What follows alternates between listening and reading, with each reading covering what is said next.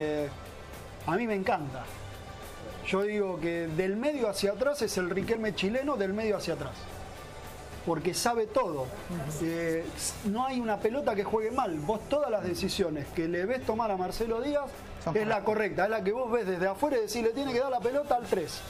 No, ahora abrila al otro lado. Ahora corto, da dos pasos atrás. No, volvé, demos la vuelta. Marcelo Díaz hace todo bien. A mí la verdad me encanta. Y yo dije, si para encontrar un jugador perfecto de mitad de cancha para atrás, yo le metería adentro de Marcelo Díaz, le meto eh, a Craneviter. Los dos juntos. O sea, empate. Conven- no, no, no. Para mí gana Marcelo Díaz. Para ti gana Para Marcelo mí gana Mar- Hoy, por Además el porque momento. me gusta, digo, ya ahí eh,